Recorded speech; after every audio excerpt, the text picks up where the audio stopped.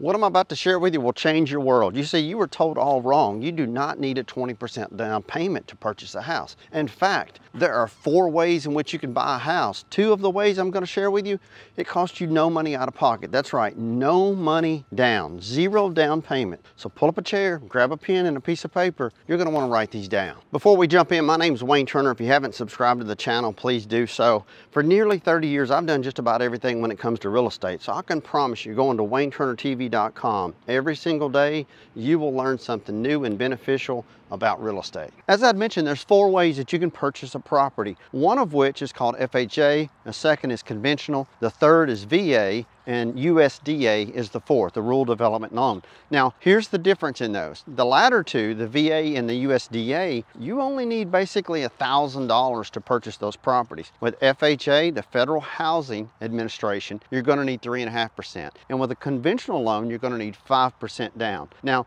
that's not all you're going to need out of pocket, unfortunately. And here's why that's unfortunate, because you have to have the seller pay your closing costs. Now, closing costs are basically what they use to start your escrow account, and your escrow account is that of which is held by your mortgage company.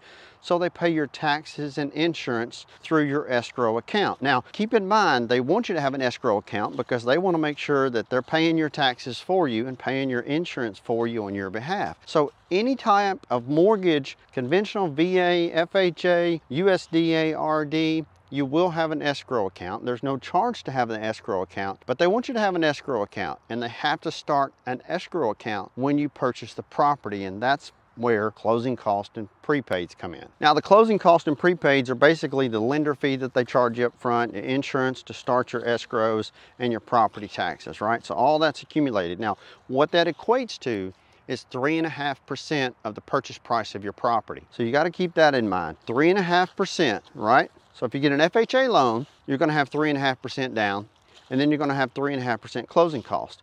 But the good thing is the seller can pay all of your closing costs and they do 99% of the time. You just have to make sure that you ask for all of your closing costs to be paid by the seller. And how you do that, I know I stuttered a little bit there, go with me, we're all human. How you do that is you get your real estate agent, a tried and true, experienced, knowledgeable, professional real estate agent who's got experience, I know I've said that more than once, to negotiate for you the closing cost to ask for the closing costs. That way, when you purchase a home through an FHA loan, a VA loan, conventional or USDA, all of your closing costs are paid. And when your closing costs are paid, it only takes the down payment for you to purchase the property. Now, something that's really important to know, of course, is you gotta have a job. You gotta have income coming in on a consistent basis, right? And you also have to have two years of tax returns. Now, as far as your credit score, your credit score has to be a 620 or higher. Now, even if your credit is 560, 540, 580.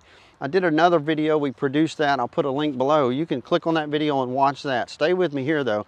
But when you watch that video, it's gonna show you how to bump your credit score because they do this thing called a rapid rescore with mortgage lenders. So we can show you exactly what you need to do today to jump your credit score 50, 60 points in the next 30 to 60 days. So you can go buy a house. Now look, I know a lot of people say, well, Wayne, if you don't put 20% down, you're gonna have to pay PMI. Well, it ain't that expensive and it doesn't last forever. Now, if you get an FHA loan, you're pretty much stuck paying private mortgage insurance. And listen, PMI as they call it, it's a mortgage insurance premium that you pay on a monthly basis. The PMI, the private mortgage insurance, is an insurance policy that's taken out basically on you and the mortgage in case you default on the loan, the insurance is covering the lender. Now look, it's a little bit different with conventional. When you get a conventional loan, you're putting down 5%, you ask the seller to pay your closing cost. Always ask for a warranty. It won't hurt. The seller can pay for it, five or 600 bucks. Most sellers are gladly to pay it if you're willing to purchase their property. But when you put a 5% down on a property, you're still gonna have to have private mortgage insurance. You're still gonna pay a mortgage insurance premium. However, once you have 22% equity in the property, it's supposed to come off. They're supposed to take that off, but they don't always do that So I always tell people, once you feel like you have 20% equity in the property, make a phone call to the mortgage company, tell them that you have 20% equity, and you do that by either having the property appraised or calling a real estate agent saying, hey, what do you think my property's worth? Most of them will do that for free. I know we do that and it just takes about two to three minutes. That way you know what your property's worth. You can contact the mortgage company and have your private mortgage insurance removed. And that will take that two to $300 that you're paying on a monthly basis off of your mortgage payment. Now go with me here. If you put 20% down on a $200,000 house, that's $40,000. If your PMI is $250, $300 a month, divide the $250, $300 a month into the $40,000. You see, that's called a recovering cost. And oftentimes it's really, really hard to come up with cash, especially 20%. And that's why I tell people, you don't have to put 20% down on a piece of property. What if four or five years ago, you've been saving this whole time to purchase a property and put 20%? Well, you could have bought a house four or five years ago, been paying the mortgage payment, paying the balance down, and equity is gained because that house is now worth a whole lot more than what you bought it for four or five years ago. Now here's a good one. It's the third way and it's VA. That's the Veterans Administration. The Veterans Administration, the federal government says if you have an honorable discharge, you've served in the military, whether active or inactive duty, you can purchase a house and they will insure that loan. Now insuring a VA loan means that you don't have to pay private mortgage insurance. That lender doesn't need to take out that insurance policy that I'd mentioned to cover in case you default on the loan. That is covered by federal government. Now don't forget, even though it's a 100% loan and it's insured by the federal government, which saves you on your monthly payment, you still have to have the seller pay your closing costs, which are gonna run you three to three and a half percent of your purchase price of the property.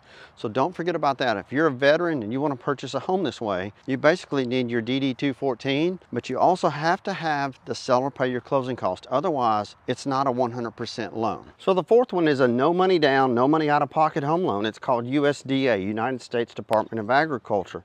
Now these are loans loans that they call a rural development loan because you have to be on the outskirts, if you will, of the city limits. So if you want to live 30 to 40 miles outside of major city limits, this is definitely the loan for you. And the reason for that is the seller pays your closing cost, costs you no money out of pocket. The seller can also purchase a one-year home warranty for you. Plus, get this, plus you can use this to purchase investment property. That's right, you can use it to purchase investment property, but here's the way it works. You have to live in one of the units. For example, if you buy a duplex, a triplex, a quadruplex, one of those units you have to live in, but only for one year. So as long as you live in one of the units for a minimum of one year, then you can literally turn around and put a tenant in the unit that you were living in.